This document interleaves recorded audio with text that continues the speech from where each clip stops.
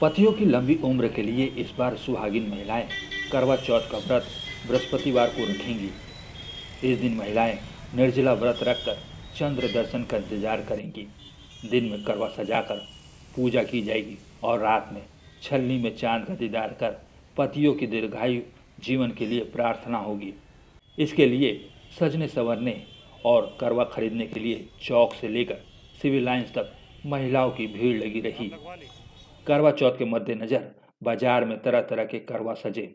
मिट्टी के डिज़ाइनर करवा से लेकर पीतल के करवा के अलावा पूजन सामग्री, छलनी और चौथ में लगने वाले सामानों को खरीदने के लिए चौक, कटरा, जॉनसनगंज, मुठ्ठीगंज कीटगंज में भारी भीड़ लगी रही। करवा चौथ पर सजने संवरने के लिए भी महिलाओं में होड़ मची रही।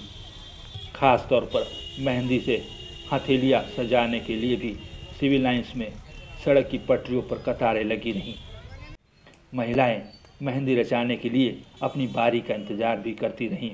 किसी ने हथेलियों पर अपने पति का नाम लिखवाया, किसी ने चाँद की आकृति। एक खास होता हम लोगों के लिए स्पेशल होता हस्बैंड के लिए व्रत रखते हैं, तैयार होते हैं, एक एक त्यौहार है हम लोगों का।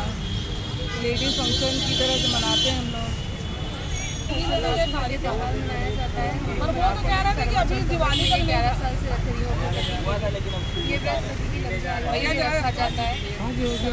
नए नए पूजा की जाती है सभी साथ में पूजा करती हैं बहुत अच्छे लगता है लहंगा, साड़ी और अन्य डिज़ाइनर परिधान खरीदने के लिए भी व्रती महिलाएँ बाज़ार पहुँची और अपने पसंद की खरीदारी की।